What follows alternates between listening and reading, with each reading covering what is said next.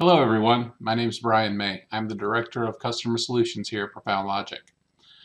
And welcome to our Getting Started series of videos on Profound.js and Profound API. In this video, we're going to take a moment to discuss installing Profound.js and Profound API on your system. There are some prerequisites in order to install Profound.js or Profound API. If you take a look on the screen right now, you'll see a link that will take you to a page in our documentation that will talk about exactly what needs to be installed. It really doesn't matter if you're on Windows, Linux, um, or Mac, or IBM i. Basically, what you're going to need is you're going to need Node.js installed on your system. Now, the way you go about that can be different depending on what system it is, and it's all laid out in that link that is on the screen. The install for Profound.js and Profound API is going to be done from a command line. Now what command line you use will depend on what type of system you're installing on. On Windows, obviously we'll just go to the command prompt. For Linux or Mac, you'll go into the terminal. And for IBM i, you're going to go into the PASE environment using QP2TERM. So here we are in the command prompt here because we're going to install on Windows for this video.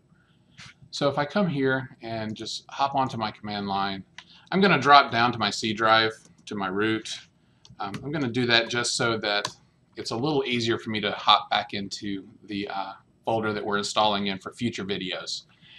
Now I'm just going to create a directory here for us to work out of.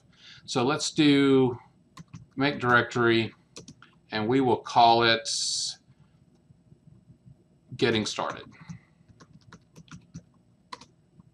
Alright, and then I'm just going to go ahead and change my directory into getting started. And so here we are. Now, provided that Node is properly installed at this point, all I really need to do in order to install Profound.js is use npm. So npm is the Node package manager. And that's how we get all Node packages um, in the Node.js environment. So the process is very simple. All I need to do is once I'm in my directory where I want to set this up, I'll do npm install Profound.js.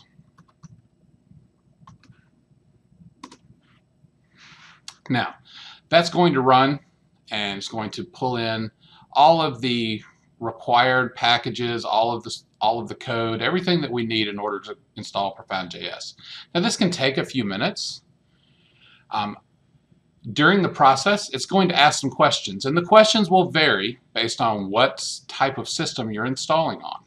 In this case, we're installing on Windows, so it's going to actually ask some questions about where to where to actually go and get some files if they already exist on the system, those types of things. What port would we like to, to run on? Now, if we were installing on IBM i, there are additional steps. Um, there are steps having to do with where Profound UI might actually be installed or um, whether or not we want to be able to start and stop the server uh, using the start and end TCP commands. So all of that is documented in our documentation. I'll throw up a link on the screen right now so that you can jump directly into that if you need to actually have a look and see how to start and stop or, or, or answer the questions for the IBM i install. Now, you'll see I've come to my first question at this point, and it's asked, all right, well, where are the Profound UI static files? So since I'm installing this locally, I'm not connected to an IBM i yet, um, I'm just going to press enter and tell it uh, htdocs. And what that will actually do is actually go out and download a copy and pull those in and, and install them directly here on my machine. Now, if you are connecting to an IBM i that already has Profound UI installed onto it, you can actually point it to that system and have it pull from there. Again, all of that is in the documentation. What port number do we want to run on? The default, as you can see here, is 8081. I'm just going to leave that alone. All right, it's saying, okay, well, the directory for Profound UI is not found. Do you want to make a copy? Yes. And that will start the download process. Um, depending on your connection speed, this can take a little bit of time. I'm actually running on a very fast fiber connection here. So as you can see, it downloaded the, the data fairly quickly. And once the download is, is done, it's going to start the install process. You'll see a lot of things flow through the screen as the process continues. And there we are, we're done. Um, again, depending on the speed of your system, this may take seconds or a few minutes, just depends. Now if you take a look, you'll see here that it says everything installed properly. Um, you might notice that actually it says here it found four low severity vulnerabilities. Now when you're dealing in node packages and NPM, this is very common. Uh, basically what's what this is is some of the packages that Profound.js uses are actually using other packages that may have some, some vulnerabilities in them. Uh, low severity vulnerabilities are very common. Um, they're not they're not high risk. So normally those can be uh, ignored. Now, all right, so with that, Profound.js and therefore Profound API are installed. So now that it's installed, all we need to do is start it up. Now, if I were on IBM i, it would already be started up because it actually creates its own subsystem and starts up automatically. Or I could use the start TCP server command to, to get it fired up if I needed to. But since we're here on Windows, I'm just going to start it manually. So all I need to do at this point is do node start.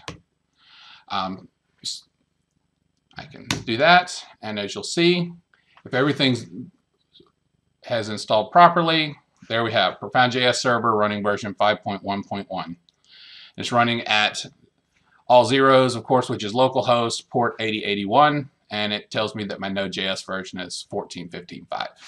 So everything seems to have installed properly. Let's check. So if I come over to my web browser, here we are. All I need to do is do localhost 8081. And the first place you should probably go is to the key page. So we'll do key. And if this were a brand new install on a system without a key, um, of course the key and the licensing information here would be blank. Obviously, I use this system every day, so it's been licensed a few times. Now, if I, this were a brand new machine, all I would need to do is click the button here to request a trial key. A simple form would pop up asking me, okay, well, give me your name, what company you work for, and email address, um, just some basic information. And then it would actually reach out to our systems and get a license key for you, and you'd get a 30-day trial key automatically, and it would be applied here. Now, if you've already had a trial key and maybe you're extending your trial or you've purchased Profound API or Profound.js and you need to apply a permanent key, again, you'd come here to the key page and all you'd need to do is either paste the contents of the key file into this text box or you can upload the entire key file uh, just using the upload button here. So now that that's done, we have our license key in place. The last thing is just to make sure everything's working. So I'll just go into localhost port 8081 slash IDE. That should take you into the development environment. And as you can see, everything's here and running. Thank you for watching today's video and enjoy yourselves with Profound.js and Profound API.